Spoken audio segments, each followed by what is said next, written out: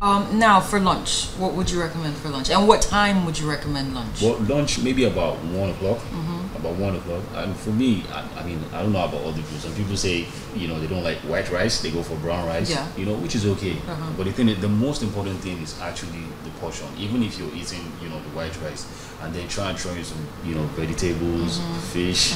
You know, basically depending on your fitness goal. But whatever it is, if you're saying, okay, let's just eat healthy, you can go for, you know, brown rice. You can go for um, wheat- pasta Okay. you know, and then have a bit of vegetables, mixed Okay. vegetables, and Okay. then you know your protein, you have it there, you know, and you know water, you know, basically. But the portion is actually key, and the most important thing is eating as often as possible, maybe two two hours or three hours, but just little little, so that Small portions. yeah, just small portions, so that you don't end up eating, you know, so much overeating, yeah, basically. Okay.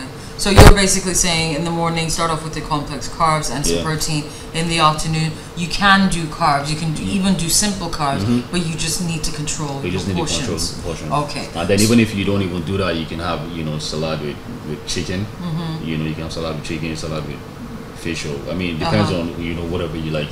Okay. You know that can work. Now, okay, so now let's say you eat lunch at about one o'clock. Yeah. Throughout, and then for the rest of the day, what happens?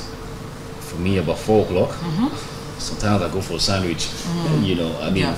you just keep the body you know ready for go for um, a sandwich with Uh-huh. chicken in it, vegetables, yeah. tomatoes. You know, and all that. Probably eat like a bit of like a vegetarian really well. Even though I'm not.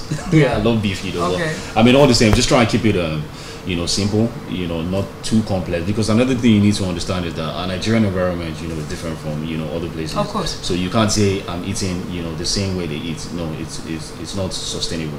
You know, so uh, how explain? Quite very hot. Mm. It So you need energy And you know, to it, sustain. it, it- because it's so hot, it it literally it, saps it takes energy. a lot from you, so yeah. you need to replace, you know, that energy, you know, with time, you know, alongside, you know, But exercising. is it know. absolutely necessary that because our weather is hot, because it Yeah. literally sucks us of energy, Yeah. is it absolutely necessary that you know it must be the pounded yam or the eba No. or the semo, Like for you know, or the I- wheat, you know, that you have to eat the, the every single is time? even is even still you know okay if, you, Uh-huh. if you're going to take weight but for eba pounded yam I don't know how, how other people you know people handle it because it also depends on you know your own body structure Mm-hmm. if I take pounded yam or eba trust me I'm done Mm-hmm. you know that's that literally just you know drains me so I try as much as possible you know to avoid them I can go Okay. for wheat Okay. I don't mind I can go for semo but just little portion Mm-hmm. and then more of, you know vegetables you have the fish you have the prawns and all that and mix that Uh-huh. you know, in it so that I mean you don't end up,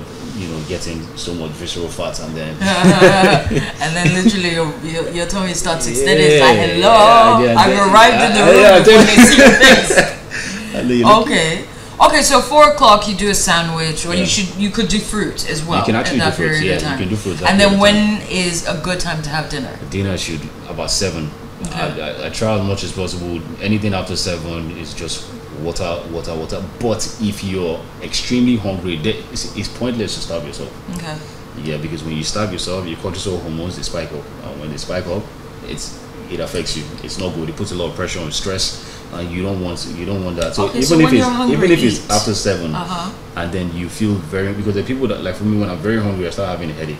So don't let it get to that point before you eat. All in the name of oh I'm trying to diet, oh I'm trying to have a slim waist and all Yeah. that. No, no, no.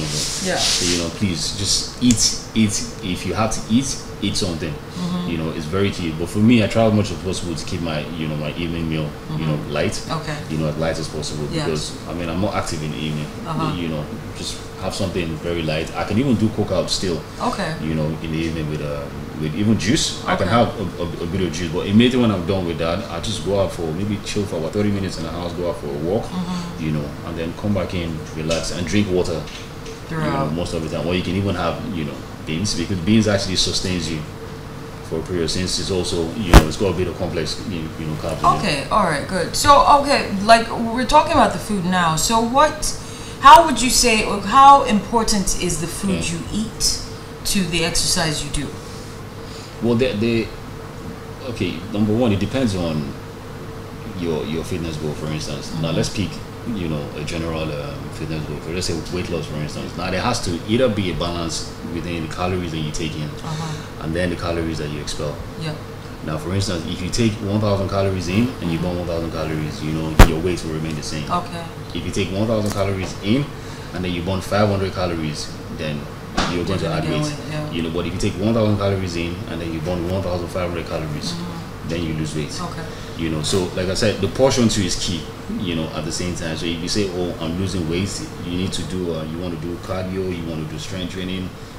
Then you're going to focus on taking carbs. You're also going to focus on taking protein. You also need the vitamins, you know, which you get from the vegetables, from the fruits, you know, bananas and all that. So there isn't that necessarily a restriction to, to what you have to eat. But I'm not saying go for sweets, chocolates, biscuits, fruit juice, and all the fizzy drinks and all that. That's Because you're exercising. that you would have to Uh-huh. curb, you Yeah. know, for a bit. But you see, there has to be a transition because it's not easy to just move from point A to you go to A and then you just jump to D Yeah. without going through B, C, and the, the Uh-huh. principles that you need to follow. And if you don't follow those principles, then I mean, you can't guarantee the success Okay. of you know your fitness goal. Okay, good.